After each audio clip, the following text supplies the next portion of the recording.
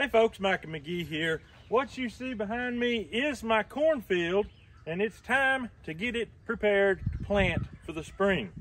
Now you might wonder what this is right here, already been mowed. What that is, is an experiment that you're gonna see in a video months from now. What we tried to do was create wheat and clover silage. And that video is gonna take several months to develop. That's in process right now. So what I'm gonna do, I'm gonna get out here. As you can see, there's corn stalks in this field, a lot of stuff. And what I understand, research has proven that if you plow it under completely green, it just pretty much dissipates and melts underground and it's gone. If I mow it, let it dry for a while, then plow it under, that humus will stay in the soil much longer. I've got several more fields over on the other side of the property, so this is gonna take me basically all day. I'm gonna time lapse a lot of this and get it done quick.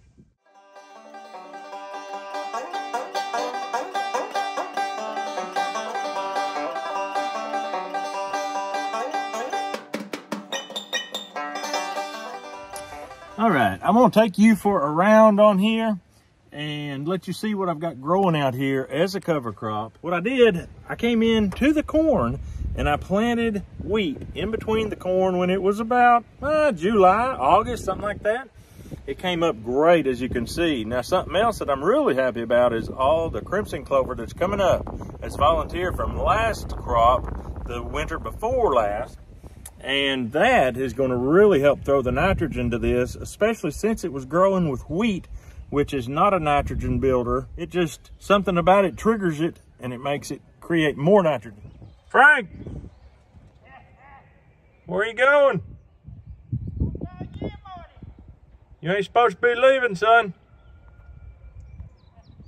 Hey, you sneaking away. Hey, hey, what's your rush? What's a rush?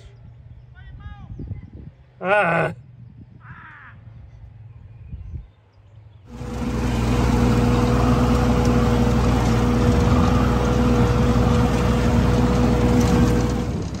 right here. Had a break out in the storm. And that's what's all these pine cones. You can see tons and tons of pine cones and needles. That's all gonna have to be plowed under.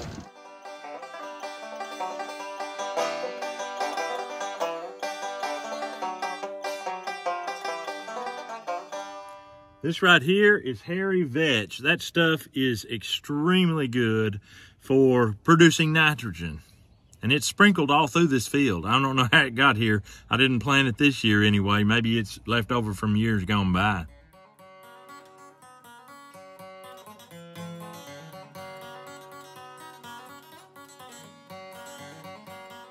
All right, we are over on the other side of the property. You can see that ground over there that's already worked up. You already saw us plant potatoes over there in a previous video. Now we've got this field of clover right here that's going to be corn. This is pretty good clover crop right here. I planted this just right when I planted my corn last year, right in the corn that was that tall. And so, interestingly enough, it worked just fine. it, of course, it had shade all over it through the summer when the corn was up, didn't hurt it a bit. It's still done fine. What I'm gonna do, I'm gonna mow it, let it dry down. That way I can work it up.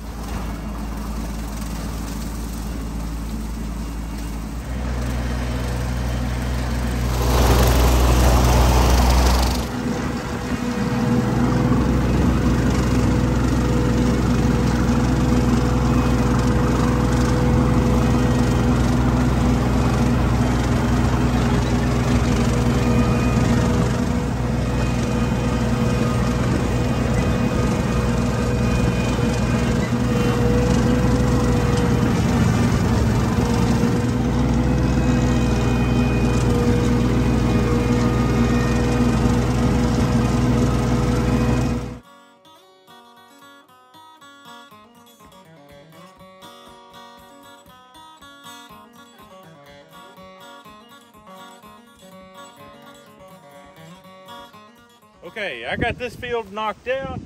It'll dry. This wind is really blowing. The sun is very warm. It's gonna dry out for a while while I go on and move to the next field or two. It's kind of hard on me to mow such a beautiful field down. I apologize to the bee people in here. I'm probably gonna get some pretty hateful comments, but I researched and what I need is nitrogen. I don't need pretty flowers and I, the bees can find their stuff somewhere else. This stage in the crimson clover's development is prime nitrogen. That's when I need to get it plowed under. And the time is getting on. I've got to get it done. And I know some of y'all think I'm about equivalent of a Nazi mowing down a bunch of innocent civilians, and I apologize for that. I didn't like that any more than you did. Let's move on to another field that won't make you feel quite as terrible about me because it's not as pretty.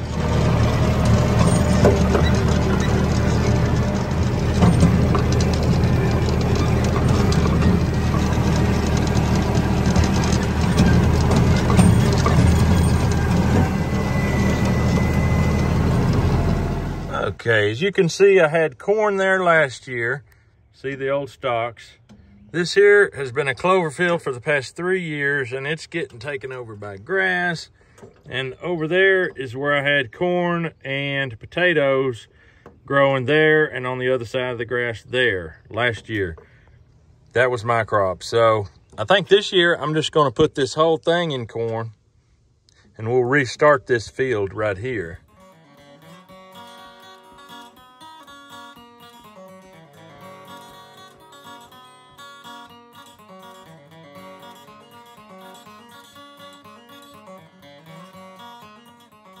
All right, I got this field mowed.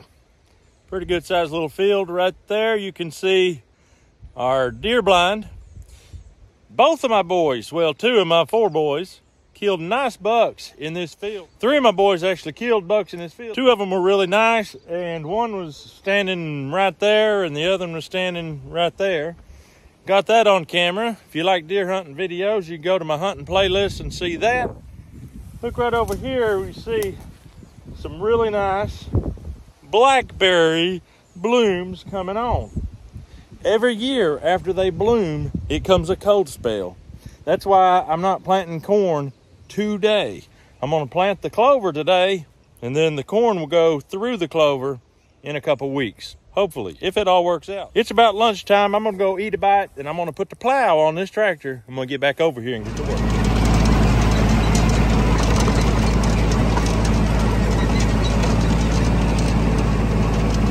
People running and going everywhere. It's a busy time, folks. Busy time. All right, I've got all my fields mowed. The wind has been blowing and drying this stuff out. And it is time to turn it under. I'm gonna time lapse this baby. We're gonna knock this field out. We're gonna knock all the fields out. Hopefully the rain will hold off. I don't know if it will or not. If it don't, what can you do?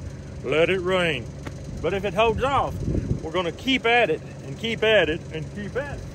One thing about this field that's different from a lot of my fields, I plow this all one direction because the way this lays, it's not good to plow it out and I really don't like to plow it in because it creates a ditch right here. So I plow it all one direction. That means I have to go backwards part of the time, but in a time lapse, that's not gonna be bad at all. Let's get her done.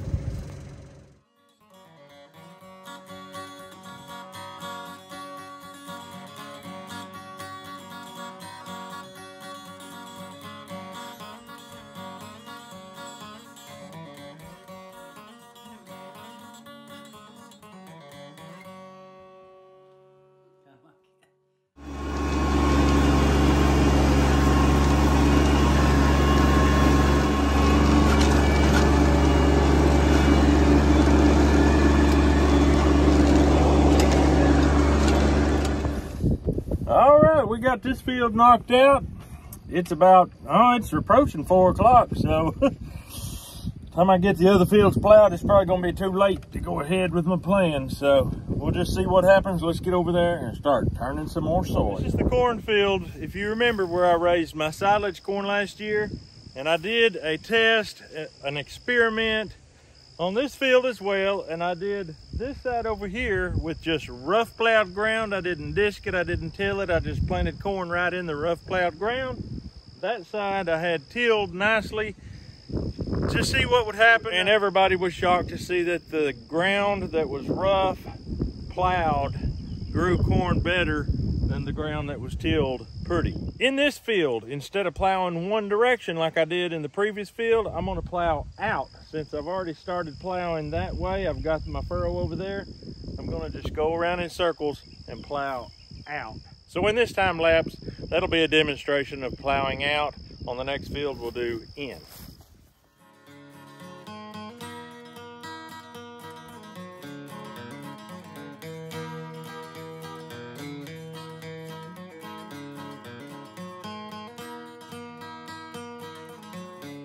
Right, I got this field knocked out. As you see, plowing out has a disadvantage.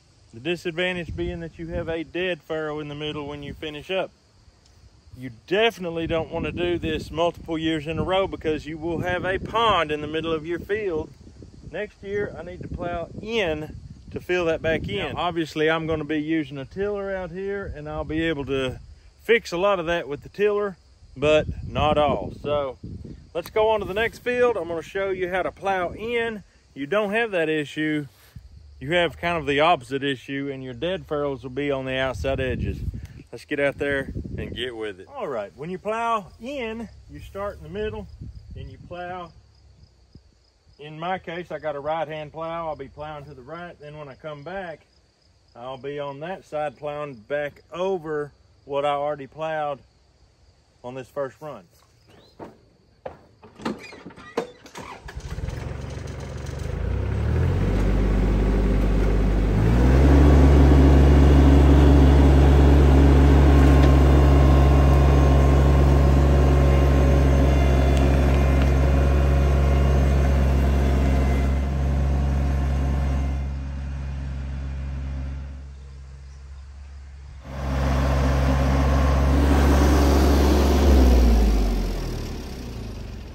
that's it.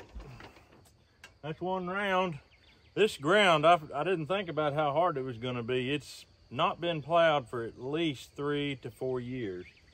So it's going to be a little more of a challenge than that other dirt even. Let's throw this back on time lapse, knock the rest of this field out, and see if we got any daylight left for planting some clover.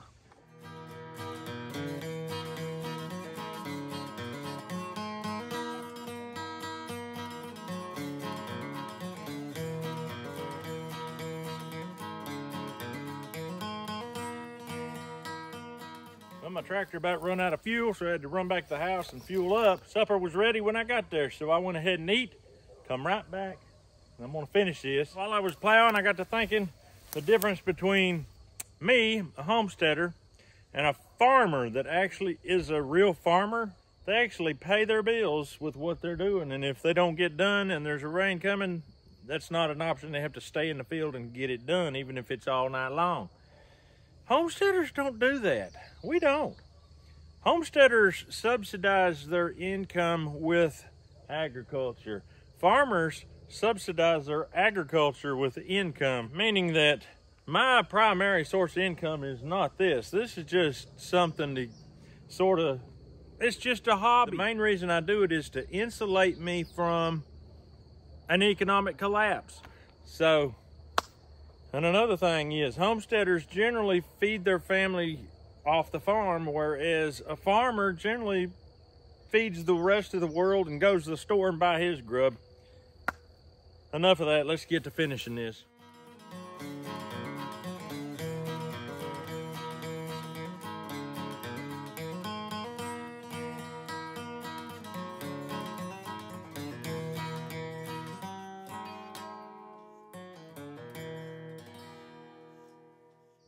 Sun is going down. It's starting to get pretty dim. The camera I'm using brightens it up, makes it look brighter than it actually is.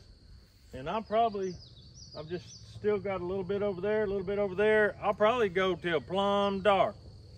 So I'm just gonna go ahead and close the video out now. You'll be seeing this field a good bit throughout the year as we do our thing raising our corn, cutting our silage, all that good stuff. I guess I should have probably called this video eight reasons why I'm not a real farmer or something like that. And that'd be the hours between 8 p.m. and 4 a.m. Because I don't like to work when I'm supposed to be asleep. And farmers do that, not me. But anyway, I hope you enjoyed this video. I enjoy plowing. I don't enjoy looking back all day and my neck gets all kinked up, but other than that, I do enjoy it. But we're gonna get on out of here. We hope you have a great day. We'll see you on the next video.